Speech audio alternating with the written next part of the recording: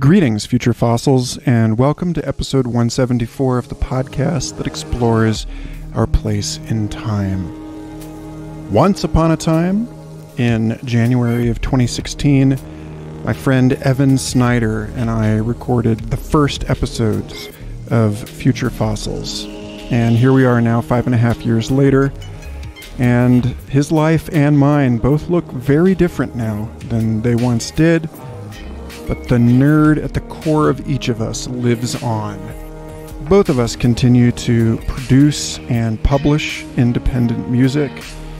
Evan's work under the moniker Skytree is some of the most lush, textural, interesting electronic music with which I shape air on a regular basis. Those of you who have listened to Future Fossils for a while are already familiar with his work as the music of Skytree constitutes most of the sonic brand of Future Fossils to date, along with my own electronic guitar improvisations. But these days, Evan also works as a robotics engineer for Amazon in Boulder, Colorado. And it is for this reason that I invited him back on the show to have a conversation with me about the new auditory environments that we are creating and the evolutionary and psychological influences to the design of those environments when we are, in fact, lucky enough to design them and not merely be subjected to them. I think one key takeaway from this conversation, for me anyway, has been that even as we wield tools that our ancestors may have considered godlike in their potency, we are nonetheless constrained in both desire and in ergonomics to create worlds that suit a radically undesigned human temperament, and that even if one day we manage to transcend our specific biological instantiation, we will ultimately nonetheless and forever serve the deep physical underlying realities of whatever incarnation we inhabit.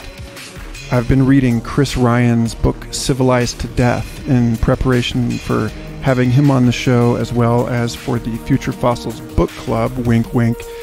And one of the things I admire about his particular breed of futurism is how he articulates it in the question what kind of zoo do we wish to create for ourselves? Ryan locates the eroded island of human exceptionalism in the claim that humans are perhaps the only species that has domesticated itself. And as such, it should come as no surprise that whatever comes after the modern era will, in important ways, sound like that which came before. I suggest checking the show notes to this episode for a list of related conversations, including one with biomusic scholar Patricia Gray and my now ancient conversation with Sarah Huntley about raising robots right. Oh, and of course, also Dr. Rupert Till's episode on acoustic archaeology. If you're interested in going deeper into the inquiry that lives at the crossroads of deep time and sound design. Also, if you are a Patreon supporter, then you will soon be privy to the second half of this conversation with Evan, in which he and I discuss his work to reconstruct the auditory environment of the age of dinosaurs as well as his use of control voltage and modular synthesis to turn radioactive mineral samples, including dinosaur bones, and also creek water and plants into electronic music. Normally, I prefer to just release these conversations in one big chunk and save the private feed for something else. I personally kind of find it annoying when people save the back half of a conversation for paid subscribers. But hey, realistically, with a two year old and an infant in the house, I really just could not find the time to edit this episode in full before getting it out. I mean, I want to thank everybody who has subscribed to this show and endured my utterly unreliable release schedule. I'm doing everything in my power now to get back to producing more episodes on a regular basis, in addition to all the things that are going on backstage at Patreon, which, by the way, gives me the occasion for gratitude to the following new supporters. Douglas Duff, Cynthia Burnett, Nick Travaglini, Andrew Bramble, Sam Barton, Wesley Ryan Pinkham, Logan Mace, and the AGI Laboratory admin, Taryn Rosenthal, and Michael Morgenstern, all of whom recently became paid supporters or upped their pledges. Thank you, and thank everyone else who has been helping me keep this show alight. We have managed to roll this entirely on listener support for the last five and a half years. If you believe in the value of these conversations, both those on the public feed and others that ripple out from it, then please consider chipping in a few bucks a month, helping yourself to the green room buffet table I've laid out for Patreon supporters, and helping me find that much more time to continue exploring otherwise unfundable conversations at the edges of the known and the knowable. And be sure to subscribe because over the next few weeks, I will be sharing some of the most interesting conversations I've ever had for Future Fossils, including a chat with University of Utah philosopher T. Nguyen and three extraordinary panel discussions one for this year's Psilocybin Summit and two for the Complexity Weekend Hackathon, where you really get to see this show in multi ball mode, and it is awesome. And okay, enough about that. Thank you for listening and enjoy this conversation with my great friend, Evan Snyder.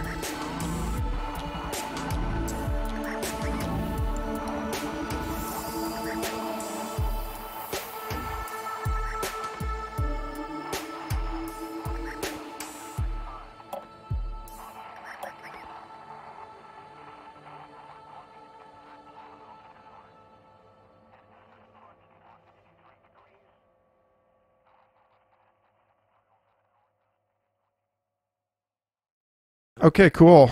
Evan, it's a pleasure to have you back on the show that you co founded. yeah, great to be back. Um, it's been a long time, um, and you've done just fine in my absence, if not excelled. So uh, I don't necessarily feel like that hampered you in any way. I, I do, uh, from time to time, listen in and uh, really enjoy your ongoing conversations with new guests and just really happy to be back and have the opportunity to speak with you again on this podcast that we both started up together. So it's been a long time. It has. And in the meantime, uh, you and I and everyone else has mutated considerably. So I think it's worth just establishing for folks a little bit about who you who you were and then how, who you are now because both of us went uh, corporate, I guess, or something like that. You know, like I mean, I work for an ostensibly maverick independent place, but we are beholden, like everyone else, to the market and and the the downward causal flows of the state. And then you're in the real den of technocracy there, and it's an interesting place for someone who I know through the visionary festival scene and uh, you know someone who spends a lot of time talking about crystals and stuff like that to be so yeah.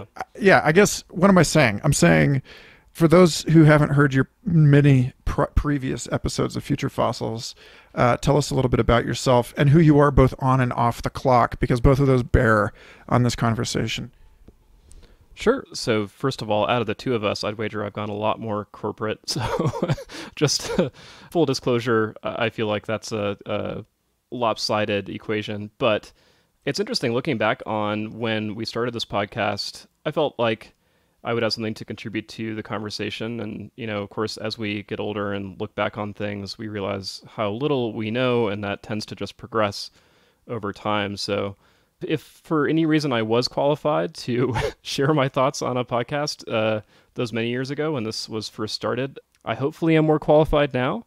I, I can't say for sure because, again, I just know more and more about what I don't know as time goes on. But life has changed a lot. Um, I've leveled up my personal endeavors quite a bit since we last spoke on the podcast. And indeed, after you know we um, had our first couple of conversations on here, uh, went back to school for mechanical engineering, specialize, specializing in industrial design.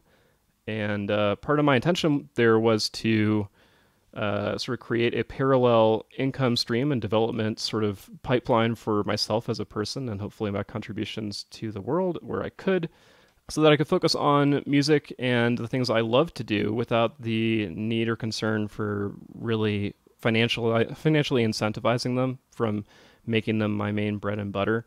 My music is typically rather esoteric, and I don't necessarily squeeze it into the boxes that maybe I should if I wanted to be more profitable. And uh, when faced with those two options, uh, you know, continue to focus on music as a, a full time producer and live musician, which I have been doing for five or six years. You know, when we first met, um, leading up to the podcast on its first episodes.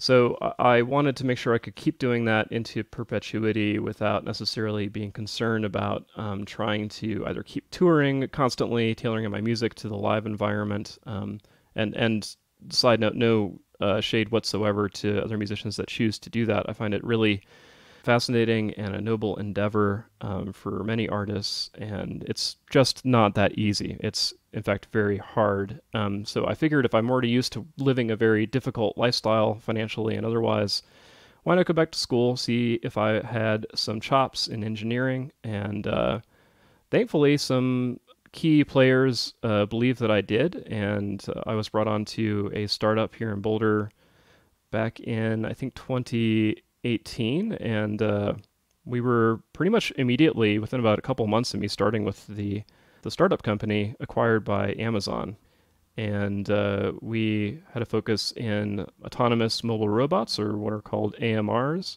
had a fascination with robotics since I was a child. It's it's one of many applications in engineering that I feel very intrigued by and would be happy to contribute to. So um, I somehow found myself now in the field of autonomous mobility, working for Amazon's Robotics and Artificial Intelligence division, uh, which is a uh, R&D um, group within Amazon that focuses on building out new technologies.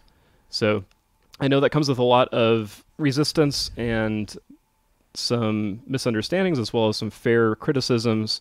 Uh, I just happen to find myself in this. I don't plan on doing it forever, but for right now, it's fascinating. And uh, a key element of it is safety. So um, as long as we can give people safer working environments, I feel like there is a positive to the technology that we're applying. And it's still in its infancy as well. So we have yet to see how far or where it's going to go. That's the the long answer to your question, I suppose, but there's a lot more to it. Sure. Well, I mean, I, I, suspect once we prime the pump on this conversation, then it won't feel so rote. You and I can can riff on each other, but so like I want to, I just want to put this in place as why this subject, why this conversation now for future fossils, and I think you know one of the things that's happened in this show uh, in your absence is that it has uh, grown into kind of a commentary on the way that our technological environments have created a new wilderness.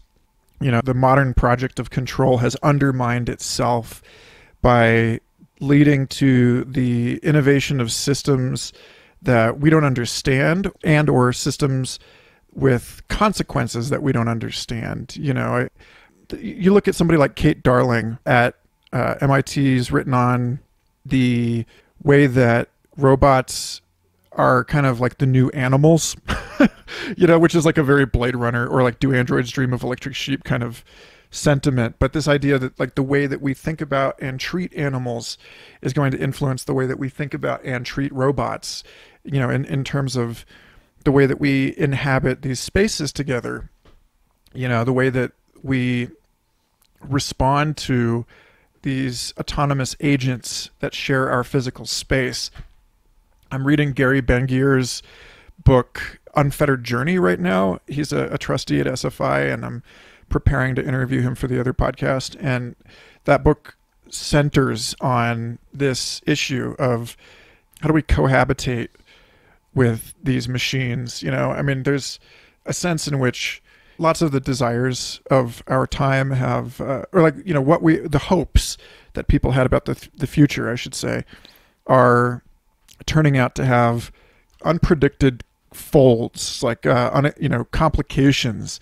And one of them that I find really interesting is that, you know, people have wanted these uh, robotic servants uh, you know, like Rosie the Robot and the Jetsons kind of stuff for so long. And you know, in fact, the, the etymology of robot comes from a you know a, a Russian word for for worker or servant, and so you know automatons in the in the modern era come in with this sort of uh, connotation or association with the the leisure of the privileged, and yet the people that are actually inhabiting spaces with robots, by and large, uh, such as you know Amazon warehouse workers, are people that are in a way like living in like the the new digital jungle where there are you know serious concerns as you've already made made clear about their individual safety.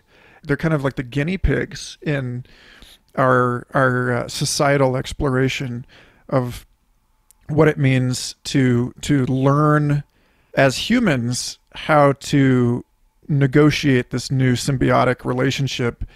And and then we're also teaching robots how to how to understand us at the same time and so i know that you you spend a ton of time thinking about this and i do want to get into the uh, the work that you're specifically doing or have just been recruited to do uh, that seems to be bridging the two sides of your life in sound design but like before we get into that i'm i guess i just want to let you build the ramp from that riff to the next sure uh, so firstly, I, I can't say a lot about my work at Amazon. A lot of it is confidential and you know held to an NDA. Um, but I can share peripheral observations and you know experiences that I've had. Um, so so one that I wanted to kick off with was pretty salient in my experience over the past year and a half, uh, especially last year during COVID. Since I'm a hardware engineer, I need to be still pretty physically proximate and interactive with our machines um, and with the systems that we have to support them.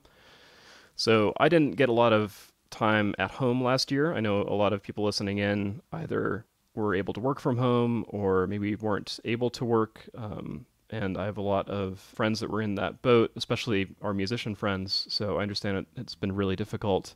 Going into the office, though, was a, a very surreal almost sci-fi experience over the past year and a half, um, namely because since our R&D facility was for the most part limited to essential staff, and most of our software engineers, of course, just chose to work from home, which is fair.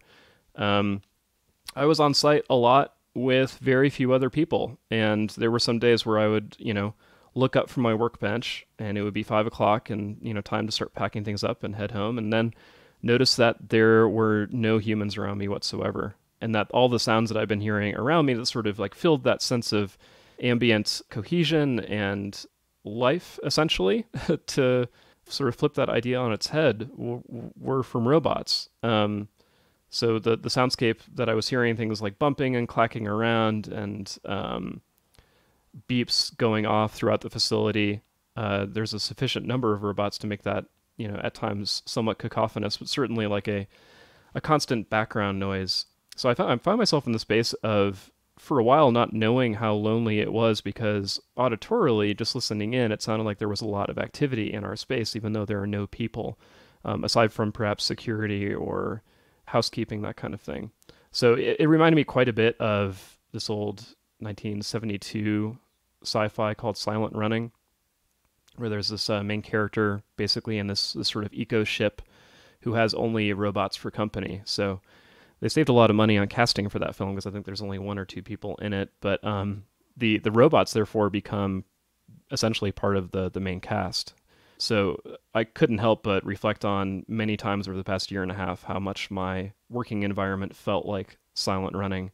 My company was these autonomous robots, uh, and and I personally, and most of our staff, you know, intrinsically trust them. Um, safety is a is a huge engineering concern and priority. Um, and having them around was almost a comforting thing, knowing that they were not alive and that they have, you know, uh, some autonomy, but are not necessarily fully autonomous. They do move around and act enough like animals to sort of keep you company, which is a disquieting but also a beautiful thought. It's both of those things. In preparation for this call, you sent me a research paper that I uh, see. It's Robinson et al. Smooth Operator tuning robot perception through artificial movement and sound. So this is uh, Frederick Robinson, Mari Velonaki, and, and Oliver Brown, uh, three folks at the University of New South Wales in, in Sydney. And I would love to hear you unpack this this piece a little bit, which I know you didn't, like I just said, you, you didn't write it, but yeah, like a, a bit about the the way that folks in the research community are starting to think about these uh, issues and about you know the role of sound design. Sure. Uh, so the paper is, I think, available in the abstract publicly. I don't believe the entire paper is, um, but I'm happy to kind of summarize it as best as I can. Or people Um, can use Sci-Hub. You know, I'm I'm allowed to say that on this podcast. Sure. Yeah. well, it's your podcast now, so you go for it. Uh, and anybody listening, this is this is Michael's call, not not mine. Um, but the the paper essentially uh, tests various, or or rather summarizes the tests of various sound profiles for what's called human robot interaction, or kind of shortened in the field generally to HRI. Um, audio cues are, are generally an important thing to leverage where possible when it comes to robots that operate around human beings. Sometimes you don't necessarily get a visual cue until something is already happening. It's good to have an additional input source, you know, as as a person working alongside machinery. So obviously that's why we have things like ringtones on our phones and the sound of the the clicking of a turn signal when we're making a right-hand turn onto the highway. Um, so ev- everybody's pretty well acquainted with sound design with respect to consumer electronics, consumer appliances, all those things. Um, like LG uh, washing machines make a really beautiful little jingle whenever they're spinning up their their wash cycle. Um, but of course, if you hear it enough, it becomes a little bit annoying. So this study was to essentially test what what sort of like categories of sound design are the most effective over various points of measure or points of interest. Um, so, just cutting to the chase, out of all of them, and there were four or five that they studied, the most beneficial from several metrics, it seems likely, is uh, the sound family of music. So, musical tones uh, tend to invoke a, a deeper sense of trust and awareness in human beings nearby to hardware or robotics platforms than say like just simple industrial noise, even if that industrial noise is either augmented or entirely synthetic, or uh, alternatively atonal or inharmonic uh, sounds. Um, music has a edge over silence, and all the other categories of sound that were explored in this paper were not necessarily preferential to silence itself. Um, obviously, this is just from a, a, perspective of what's preferential to people. What do they perceive uh, with respect to this type of sound design, not necessarily to the actual efficacy uh, in situ. So, um, that being said, given that I have a um, now fairly long spanning experience in sound design, audio engineering, and, and music production, um, there is an opportunity now to potentially apply that to our autonomous platforms, which I'm exploring right now. Again, I can't get into too much more detail, and it's still tentative, but um, this is definitely something I'm, I'm, very interested in. And in fact, during industrial design classes in uh, school for engineering, um, there were a couple uh, classes and bits of coursework on uh, implementing sound in consumer devices, things like that. And I always thought that was a, a pretty fascinating thing. Um, autonomous robots are still so far and few between that there's only a handful of people in the world, including the folks at the University of South Wales that you mentioned earlier, um, University of New South Wales, that essentially you know makes this sort of a wild west. Uh, there's a lot of opportunity to explore and expound upon previous ideas. Of course, like we have these general notions of friendly robots making sounds like R2D2, and I imagine that will potentially have a impact on the sound design choices that we make and how we move forward, um, emulating, you know, what are established to be friendly robots in sort of science fiction space could potentially, uh, I, I, would say, is strongly possible to sort of leak over into real space, into our present and our future. So um, I'll be exploring maybe ways to emulate R2D2 esque sounds in this process. um, if I get to do this going forward for for a while, it's it's a possible career shift um, and would be really fascinating to uh, to take on because um, it, it really does meld my two interests. It would be quite ironic if I went back to school for engineering and then found myself again just working in sound. But life is like that sometimes, so uh, I am I am waiting with tentative excitement. Well, you know, just uh, it's interesting the way, in the sense that built environments are the environments to which we are conditioned now, and so just listening to you riff on this stuff, you know, I think about the way that maybe 200 years ago people would reference the classics in conversation, and now people reference Star Wars. You know that it's that there is this change in the repertoire, and that the classics were themselves a replacement of you know some kind of sacred text or going even deeper a familiarity with the bird song and insect song in, in one's environment. You know, that we just attune ourselves to, you know, our surroundings. And so there's this, uh, you know, it's, it's, it's funny how like, in a way, you know, you, you know, your, your point about R2D2 being this, this thing that we, we've all sort of learned to understand as the friendly robot sound, uh, you know, as compared to like, you know Michael Bay Transformer sound design or something. You know, like grating metal. Like these things are not things that we. But it's but you know there's this feedback between that kind of thing um, as merely inherited, and asking the questions about why it is that you know. Uh, Terminators got a certain kind of sound in the first place, and R2 R2D2 and WALL-E got different sounds, you know, and like in the way that even in in that first generation of, of imagining these things, you know, speculating on them, we were drawing on something really kind of basic about the way that our brains have evolved to suit a, a prehistoric audio environment. You know, like how across cultures all over the planet, people seem to identify certain vowel sounds, like O is an oo are, are rounded shapes synesthetically for people, and E and I are pointier. Like this is this is strongly convergent and and uh, you know conserved across different human populations. And so there's something about the history of robots in popular culture that speaks to uh, this, you know, the way that our brains have already been hacked by evolution to elicit specific emotional responses to particular kinds of sound. Like I think about uh, the way that cats have learned, like you know, domestic cats continue to meow into adulthood, where wild cats will not, and they do it because certain cat sounds peak at the same frequencies that human infant sounds peak, and so you know they they seem to have co-evolved with us in our self-domestication as a way of eliciting particular feelings that we would normally associate with our own children. And it's funny because I think you were the first person I ever heard call a cat a fur baby.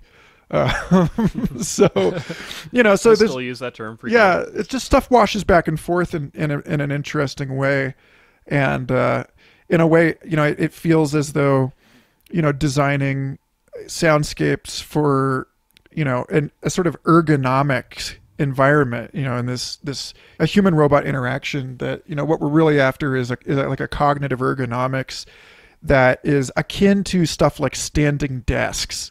You know where we're starting to realize that that we can in fact design the modern world. You know that we, we don't have to do all of the adjustment. You know that these are after all our tools.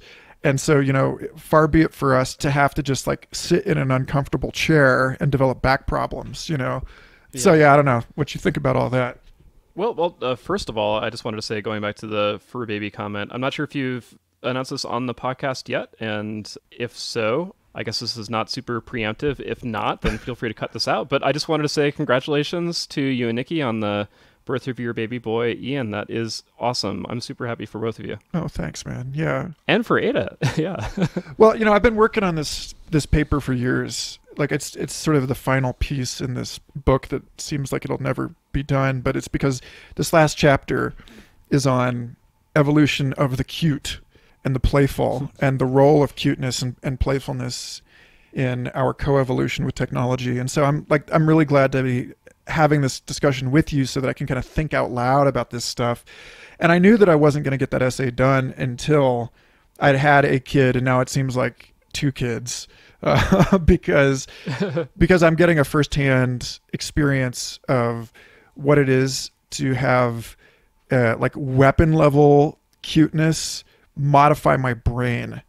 You know, becoming a parent really does change you not just because you know like people say like oh it's because you realize that a piece of your heart now lives outside of you and like yeah that's that's it but like i don't know there's this other part which is a little bit more cynical or or uh, hor- horror themed which is that you know the the illusion of the modern agent is shattered uh, in the lived reality that you have that some of your your control knobs exist inside of someone else you know and that like that you are uh you know in the same way that people think about like toxoplasmosis you know and like the cat parasite that that normally would get inside a rat and make the rat less afraid of cats so that it can be eaten by the cat and like continue its life cycle and you know mm-hmm. that there is this sort of paranoid interpretation of cuteness that Erik Davis has written about uh, as well that is you know it's just it is kind of horrific if you're not already there through you know a, a practice with psychedelics or whatever where you know having a kid is a wake up call to the fact that you're not that you are permeable and manipulable you know and it, it really it really opens your eyes to just how easily each of us can be torqued by you know something that is leveraging millions of years of evolution to uh, to you know uh, get you to do things for it. so yeah, I mean, sure. I, I, was just gonna say, you know, uh, cuteness is for all of its glory and, wonder, um, and also just joy, um, inherently manipulative, right? Like it's it's a evolutionary strategy for refocusing our attention on the things around us that are cute, namely, for the most part, our offspring. And in my case, with my fur babies, um, I have a a four month old kitten right now named Logray, who is so adorable. It it uh, makes it virtually impossible to not uh, basically try to kiss him about three or four times before I go out the door, and then you know basically run five minutes late as a result. But that that lateness is an acceptable consequence to how adorable he is and how wonderful it is to give him probably more kisses than he wants. But um, that that will probably factor and and to some degree does in industrial design um, into human robot interaction uh, to to additionally leverage that. And I, I do want to make the the aside here that um, I personally have drawn a line in the sand to not contribute to anything that will be used for military industrial purposes or uh, things that could be used for espionage or some other side quest with potential negative consequences or intentions. So we're, we're still fairly early on enough in this autonomous mobile robot endeavor to still have hope on our side, and I still personally ascribe to that sort of side of the equation. There was something else I wanted to backtrack on since you were mentioning birds in our sonic environment being predominantly our experience, you know, many thousands of years ago, leading to increased industrialization and additional things like cars and fans and uh, ringtones starting starting to fill up that auditory space. Um, unfortunately, often to the downside of, of nature. I was walking into the back entrance to my facility, I believe around this time last year, and there was a large raven in a tree behind the facility. And there was some some really awesome ravens here in Colorado, and uh, if you look every so often around Boulder, you'll just see them hanging out by themselves doing their solitary raven things. But um, one thing that they're incredible at actually is is vocal mimicry, and this raven caught my attention, especially because it was eerily accurately mimicking the sounds of our robots as they exist now. I thought that initially one of our robots had somehow gotten outside, which shouldn't be a thing, um, and was beeping and making its sounds outdoors somewhere. So I looked around and then found myself looking up a tree, and then to my surprise saw a raven giving its pretty spot on impression of a robot. Um, I looked around on the internet to see if there were any other experiences kind of like this. I wasn't able to find anything. It probably has happened before, but to my knowledge, this is maybe the first time that at least a raven has impersonated one of our robots. Um, I thought that was a pretty fascinating experience. Oh, absolutely. Actually, I remember, you know, maybe not with ravens, but I know that it's it's common in mockingbirds to hear them mimic mechanical noises and they do so really effectively. I, I, I lived across the street from one in Austin, Texas for a couple years that would mimic a car alarm in our apartment complex. And so it was like, you know, it's just interesting because when you think about, you know, I'm, I'm glad you looped back to that for a couple of reasons. One of which is that, you know, the the paper that got me thinking about the evolution of intelligence in in high school and actually kind of one of the two papers that knocked me out of the groove that I was in as with paleontology and got me to start thinking about this, you know, deeper questions about the evolution of intelligence was this piece, uh, the maintenance of vocal learning by gene culture interaction, the cultural trap hypothesis. Uh, I can't recall who wrote this. Hold on just a second. Let me let me actually pause sure. for a moment and dig this up. So I don't know if you're still recording while pause, but uh, okay, cool. I did happen to come across a an interesting example of this while while digging a little while ago on the vocal mimicry of ravens. And uh, actually, if, if you Google this, just type in ravens mimicry, and the first example that you'll you'll probably see is that ravens have been known to uh, mimic the howl of a wolf to essentially distract the wolves. Hmm away from a carcass so that they can get in there and have their dinner. So th- they definitely do this in nature with other animals. Oh, that is fucking clever. They must have been around one of our uh, robots for long enough to pick up on it, and then for some reason think that there was some advantage in that. But I got the impression, and this is heavily extrapolating and, and assumptive, that it was just messing with me, as if to say, I, I know you guys, you guys are up to something in there, and uh, I just want you to know that I hear it, and this is what it sounds like it felt like a directed conversation to some extent. Interesting. Yeah.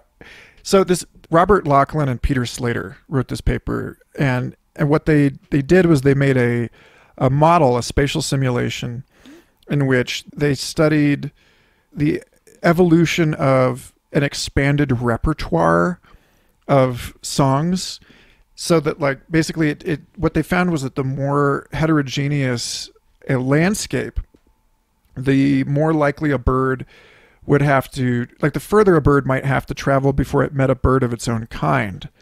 And so, just, you know, the distance involved and the sort of dialects that form in these distinct populations leads to a pressure on the intelligence of individual birds to learn to be able to learn more dialects and to maintain you know neuroplasticity into older ages. And you know and I've I've seen other more recent work on this in in bird songs. And and like I you know this relationship between the ranges over which birds roam and the you know when you think about like heterogeneity it's really sort of like a proxy for biodiversity.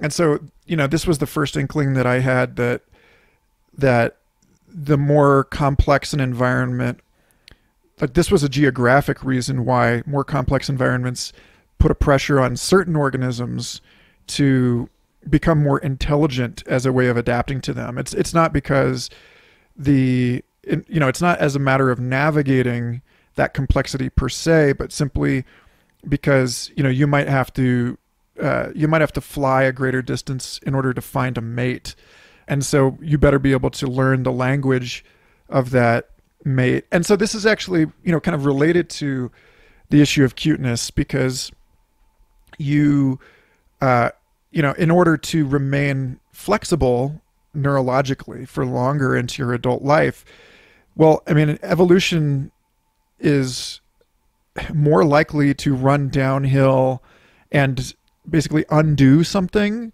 than it is to evolve a new complex trait like i mean there's a there's a bias where it's easier to basically remove adult features than it is to develop a, new adult features. And so there's among many different lineages of organisms, you see this trend backwards where the adult takes the form like you know you reach sexual maturity uh, while certain aspects of the organism remain childlike into adulthood and that's one way that humans have learned to as you know as a as a hypothesis about our environment you know humans the human body has adapted to the complexity of our social milieu by staying childlike, meaning like the be, being able to learn new tricks well into our old age.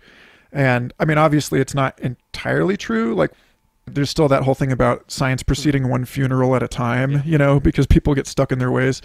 But you know, I just, yeah, I just, I think it's, uh, I, I muse a lot on these trickster birds that you're talking about here and how they are sort of a, a portal through which I, I reflect on and, and contemplate the future of our own evolution as like children among the machines, you know, as like the, you know, we returning to some kind of, you know, not to get like totally retro romantic about it, because I run into the danger of doing this like, um, you know, noble savage or or like a childlike paternalistic thing about our our deep ancestry.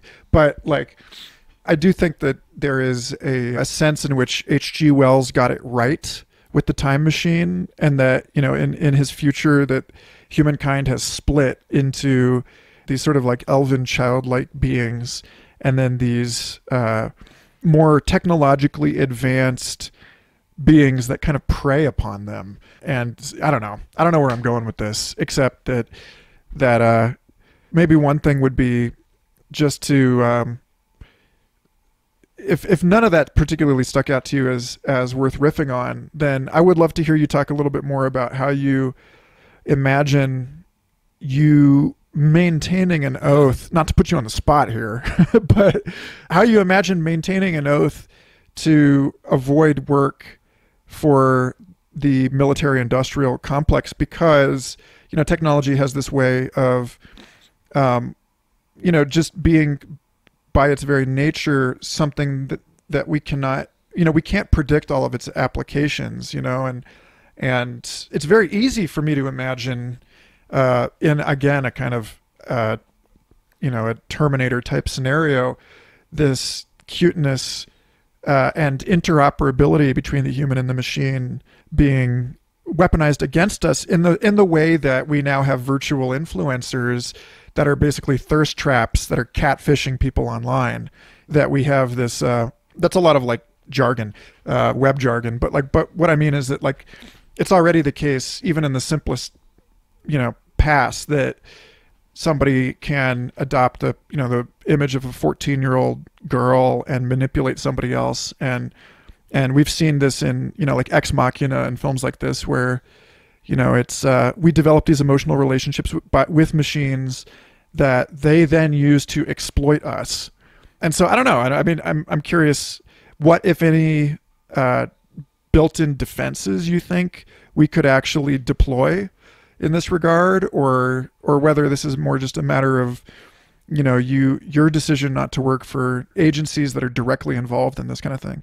Just talking about the topic of, of cuteness and sometimes the manipulative qualities behind that i couldn't help but think of things in our pop cultural milieu like uh, Fizzgig and the Dark Crystal, you know, this really fluffy, adorable little fantasy creature that as soon as it opens its mouth is just packed to the brim with razor sharp teeth and instantly much more fearsome than it initially appeared. Or, or uh, the the like product line of Feisty Pets. I don't know if you've seen those, where these really uh, adorable little plush sort of beanie baby looking stuffed animals that if you press a button they reveal these razor sharp teeth as well um, this theme pops up in, yes, we have yeah. one in the house. It's so wonderful yeah. and, terrifying at the same time. Um, that that theme pops up in in lots of different areas of pop culture, and I think kind of underscores this uh, deeper, uh, maybe at some points unconscious understanding that we have culturally around this phenomena. There's also the you know Chucky doll, the Krusty the Clown doll in uh, I think one of the early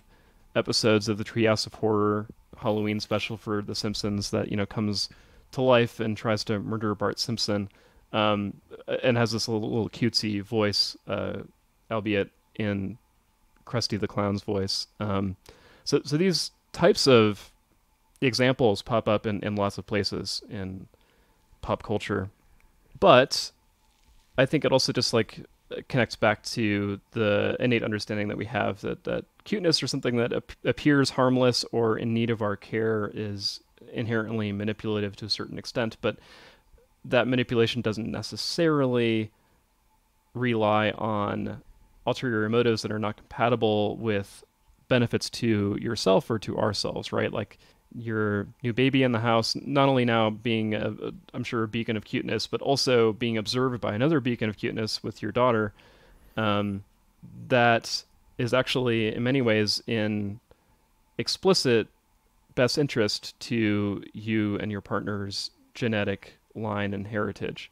Um, it, it, it seems perhaps on one level selfish that you know a baby would be so adorable and therefore you, you would basically offer it everything that it needs to to grow up in return uh, without the need for something back. Um, but it's it's your own child, right? So it's kind of your your own progeny's cuteness and in a way your own uh, you know adorable inner nature reaching through this next generational step um, to continue your own interest going forward. So I don't think cuteness necessarily means that the thing is you know that is cute is manipulating you to only its own benefit. Um, I, I would say it's a stretch to make the same parallel with robotics and with technology, but it, it might not necessarily be a stretch. I, I, I don't really consider myself in the camp of the techno optimist, sort of the the Elon Muskian uh, fake future, so to speak.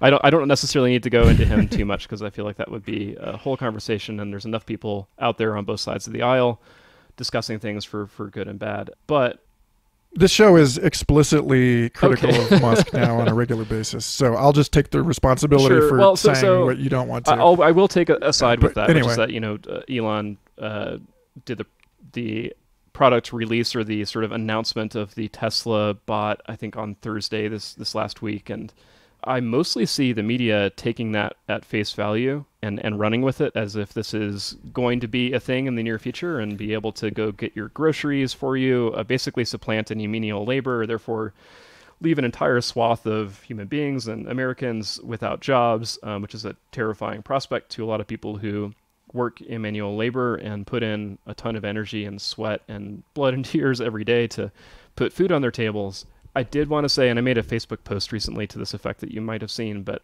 it's going to be a long time until we get there, in my opinion. Uh, since I work in robotics and especially uh, autonomous mobility and um, this new field of human robot interaction, for example, I say new in terms of recent developments related directly to the autonomy that is continuing to sort of push the envelope of what a robot or a machine can do.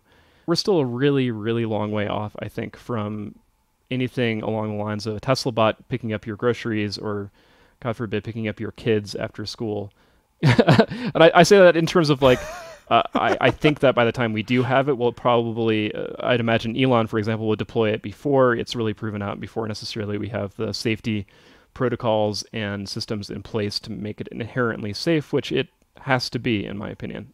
Any robot that operates around a human being should have a redundant safety system um, that operates independent from the uh, compute platform and prohibits any unsafe operational conditions uh, so that no one gets hurt. The second you take a humanoid robot with let's say presumably some hyperfunctional AI chip. I don't necessarily think that's going to be Dojo like what they also released or announced on Thursday. Um, but say say it has a compute platform that is capable of full or, or high level AI, um, and you set the robot out there in the world. Um, that doesn't just make it a marvel that's only going to do great things. You know, there's there's a high potential for uh, mishap unless it's inherently safe. There's the potential for your fifty thousand dollar. Let's let's put it at a low level because it will probably be more expensive than that initially. But say it's a fifty thousand dollar humanoid robot uh, that you send out into the world. What happens if it gets lost? Um, what happens if somebody takes it or it falls into a manhole and no one knows where it is and its GPS you know fails because its battery drains? Um, you know, I can see in the future there being some really almost parody of parenthood with respect to the paranoia we currently have about where our phone is, for example, um, and trying to run on the house to find it, or using, you know, Find My Mac to find our, our laptop. People like scurrying left and right to try try to find their Android in the future. so you're right. It's it's a yeah. Go ahead. Did you ever oh, read? Uh, oh, sorry. Go on. I was gonna say, did you ever read Alex and Ada? Um, no, I haven't. Oh my god, it's superb. It's a, a three-part graphic novel series written by uh, Jonathan Luna and illustrated by Sarah Vaughn. Or maybe I see. Do I have that right? Artist is Jonathan Luna, and yeah, the it was written by them both. And it's about a guy whose aunt buys him a companion robot because she's having such a great time with hers. And he's like still hung up on this ex. And so she's like you know you need to get over it. Enjoy your life. Have some fun. And it's a lens through which we look at human rights and a lot of other kind of related sort of uh, technological concerns through the lens of the emotional relationship this guy develops with his sex bot basically who it turns out that you can't in the story, which I think is kind of plausible, that you can't build a a, a compelling human emulation without making it conscious. And so all of these things are basically under this intense DRM control where so they don't develop like you can basically it's like giving them like a robotic anest- like general anesthesia where they they can function as a human being, but they they're not actually like self aware. But it's a lock that they had to basically put put on the system and can relatively easily be removed. And so it gets into this whole thing about like when you fall in love with your sex bot, like don't you have a responsibility to jailbreak her? You know? yeah, it's actually this fits into uh, another uh, fairly recent sci-fi book by I think Simon Stephenson. It came out last year actually, uh, called "Set My Heart to Five. Um, it, it's sort of a almost a Douglas Adams esque take on "Do Androids Dream of Electric Sheep?" Um, where essentially, you know, uh, an, an Android doesn't necessarily have a limited lifespan. What it has is a cap on its its emotional uh, dynamicism, so that uh, if for any reason an Android over time uh, through machine learning, artificial intelligence, etc., actually develops what at least appears to us to be emotion, that that's the threshold at which the you know the authorities will basically swoop in and, and deactivate or decommission Retire that it. robot. Um, it's basically about the yes. Uh, so um, it's called "Set My Heart to Five because the the main character, which is this android, basically equates itself to a toaster, and since toasters at their max setting historically go up to level five, that he has explicitly stated that he will basically limit his emotional and and personal investments in the world at five, which is, you know, half of what we typically ascribe to a zero to ten scale for for a lot of measures of things. So it, it's a a fun sort of um, parody off of modern robotics, the, the cyberpunk sci-fi legacy that got us here, and um, it's a lot more lighthearted than your average take. So that that's personally where I tend to go with this stuff. Is like I mentioned, I'm not really, I don't necessarily consider myself a techno optimist. I might, if it wasn't necessarily for Elon being the main uh, driver, you know, pop culturally speaking, for the for that notion.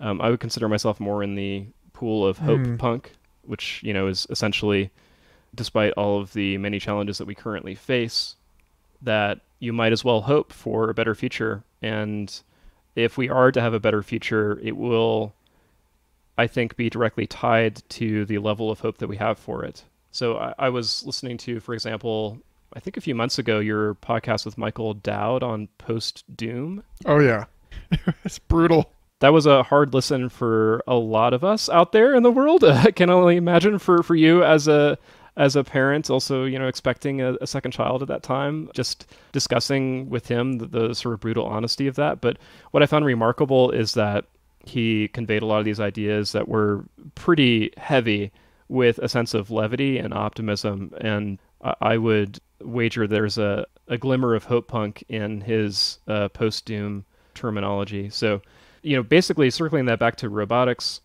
there's a whole other side here to discuss around that. But if we are to have robots that are relatively autonomous or hyper autonomous to the point of there being an android that can go get your groceries. Again, I think that's not going to happen anytime soon, but I'm not saying it's impossible. I think it's possible. If we have more hope for the future on an individual basis, you know, with respect to these complex engineering projects, for example, that they're more likely to be steered in a direction that indeed is um, optimal and minimally threatening. Um, I, I, think if we sort of discard that um, attribute right at the gate and just say, well, we're going to build it because we can, which is, of course, why human beings do a lot of things, that we could help to periodically inject these more positive checks and balances on the development of our technology. So, this is probably not effective or reasonable, but whenever I ask Siri for something uh, and she does it, I say thank you at the end of it, just because it feels more natural and enjoyable to have a cordial discourse with a soft artificial intelligence or uh, pseudo AI, but but also because if in the future, for any reason, artificial intelligence does get suffic- sufficiently advanced to sort of go back and scrub through its you know history of interaction with human beings or its precursors history of interaction that maybe you would find a glimmer of hope itself. So i also do the same thing with our robots. I try to you know be cordial when i'm maneuvering around them and to sort of treat them as individuals even though as they are right now there isn't necessarily justification or reason to do that. It makes me feel better being around them. And if in any uh, point in the future things do get a little bit more bonkers that it, it, might help us to some extent. So that is a whole thing to get into, but I think it's a worthy discussion, especially as we start to have more like virtual assistants and interaction with things like Siri or Alexa or autonomous robots moving around us. I think sort of this emotional space will have a bearing on our future and our shared dynamics with our technology. Yeah, even if we're only programming ourselves to be polite. You know, it's it's funny like I Well, sure. You know, I this this rhymes with a lot of the thinking I was doing back in around the time that we started this show and in the roughly a year after when I remember I gave the talk at Boom Festival about, you know, how to live in the future, which was what inspired this book that I've been writing. And the talk consummated with this riff on the importance of if we're going to upload people into some sort of digital afterlife, then we should upload poets and artists and lovers. And, you know, that we don't want those spaces to be seeded with and therefore given, like, we don't want to give this first mover advantage to merely the kinds of mind that have economic value as we understand it now we don't want this like Robin Hanson's uh, book Age of Em, where he kind of talks about how we'll find the best person for every single task that can be automated by and and you know done by not automated exactly, but like uploaded into a, a digital emulation of a person, uh, which he uh, kind of horrifically assumes will be uh, sapient in its own right. That you know he sees it as sort of like, well, we'll we'll just take the best person for each narrow task and kind of like extract the part of them that is doing that task and then that person will become the seed crystal for a new highly competitive class of accountants or whatever in the new space. And, you know, that's just, there's so many reasons why I, I balk at Hanson's future, but one of them is because he himself, as an economist, is thinking about this in terms of, you know, how he, he sees the economic forces as he understands them dominating this process. And I think it's like, it's a, a nice segue, hopefully, into some of these more deep time considerations with you that you know that we we recognize that not always i mean this was one of the things the the, the tenets upon which we founded the show was that you know so much of the value of prehistory is to be found in the middens of those those lost societies you know in the trash. And you know it makes sense for us to send not in the way that we're doing it now, not in the way like the plastic gyre in the South Pacific or in the non biodegradable stuff that we're sending into the future, but in a sense of like intentionally leaving a complete image of ourselves so that things can be retrieved from the bottlenecks that we would otherwise create through the false or misled optimization function like just seeding the future with the things that we find meaningful today is basically guaranteed to undermine us. And so, like, I know that I interviewed you back when I was working for Long Now last year on adjacent considerations in uh, some of the music that you've put out lately and how communicating with the distant future has informed some of your tracks, specifically Atomic Priest, and you know, also your you know your experiments with radioactivity in modular synthesis. And so I feel like that gives us the other road by which we could have reached this was discussing the profundity of, of birdsong and, and like the work that you've done trying to reconstruct Mesozoic audio environments and like basically little dinosaur music samples, which I'll I'll link to in the show notes. But yeah, I'd love to to hear you riff on kind of where all of this is anchored in your consideration of who you are and uh, what you're doing with your music as a form of communication or a way of participating in a deeply asynchronous discussion with the, the deep past and deep future. Sure. Maybe there's room to make these two different but intersecting topics two different podcasts if you wanted to. Otherwise, um, we could probably riff on this for, for hours alone. I did want to say really quick, just sort of as a transition point, sort of going to the idea of deep time and the connection to artificial intelligence, to robotics, sort of hope punk, and to a certain extent, techno optimism. I was thankfully able to visit my dad last month after not being able to see him or most people throughout most of COVID. And we were just in the backyard looking out over the garden and, and kind of also riffing one night on the potentials for artificial intelligence, even if it doesn't reach sort of our expectations, which is a fully like sentient, sapient organism, essentially in, in the form of a technology. Uh, again, I don't know if that necessarily is possible. I, I think it's perhaps if I if I listen to my gut, and it's quite possible that's wrong. This is this is my assumption or my opinion, or rather a hope that we might reach the point of technological development with respect to machine learning and artificial intelligence that effectively not necessarily proves but heavily points to the existence of consciousness in biological organisms like like us as being a critical factor in achieving what we would perceive as a as a fully conscious android or, or replicant. Basically, we, we might drive the development of our compute platforms and AI to the to the asymptotic point of realizing that in fact consciousness is a critical underpinning of our experience of the world and that perhaps it is isolated to biological existence. So we might get to the point where we have like a, a Boston Dynamics type Atlas robot going out there and getting our groceries, but we might not ever be able to prove out consciousness in a technological form. So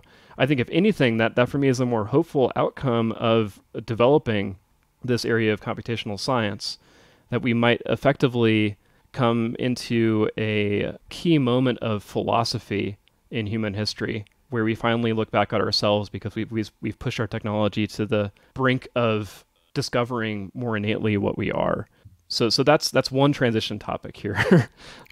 Ooh, ooh, can I just tag on to that? That I was thinking about that in listening to you talk a moment ago, a couple minutes ago, and how that is the well like if you don't it's sort of you know if you don't know if someone is a philosophical zombie or not then it's like a pascal's wager kind of thing Yeah. it's like you're better off being polite you know like i don't understand why in rodney ascher's documentary glitch in the matrix so many of the people in his, that he interviewed for that film in their assumption that the world is a simulation like they come to this conclusion and then they just assume that everyone else is a non-player character and they decide oh well then i can kill them with impunity it's like what the hell? Like I, I would far prefer i would far prefer a world in which you know like erik davis is the one who kind of inspired in me this thinking about reanimism and like the way that this environment is eliciting the cultural retrieval of animism just because of the dynamism and responsivity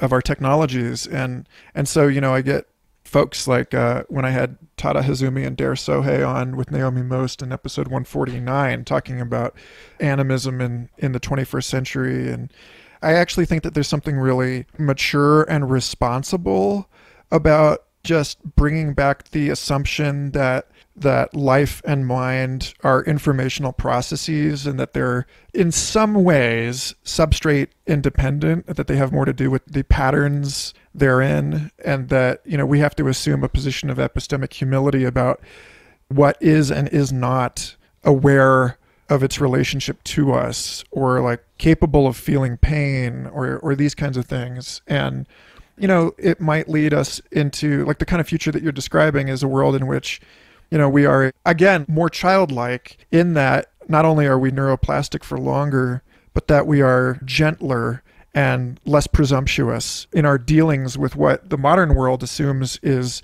inanimate so yeah anyway Sure, or, or even just just more humbled by our discoveries. Like with I was mentioning at the beginning of of our conversation, basically there being what eight or ten years in between now and when the podcast was founded, feeling like I had perhaps some value to contribute uh, all the way back then, and and now having experienced a lot more in life and built out a lot more professional understanding of my interests and hopefully just becoming a better person you know just the the task of self-improvement going every day since then I've been humbled in parallel with the things that I have learned, sort of like peeling back the layers of what I assumed.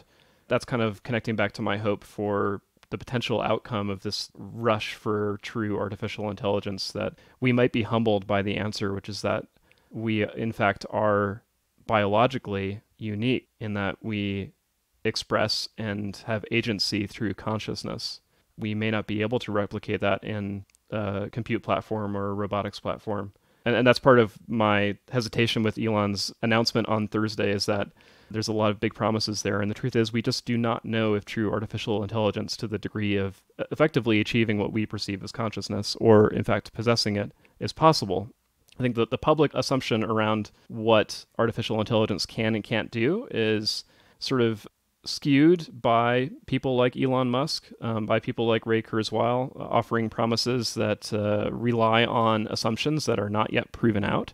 And of course, like the fact that they achieve some level of autonomy with a thing like mostly self driving level four autonomy Tesla Model S. Uh, it's close enough to the degree of being convincing that full autonomy is possible, but it doesn't necessarily guarantee that it is uh, which is why I think possibly Elon keeps punting level five autonomy down the road every year and saying to Tesla owners, "Oh, you're going to get it next year," and four years later, it hasn't happened.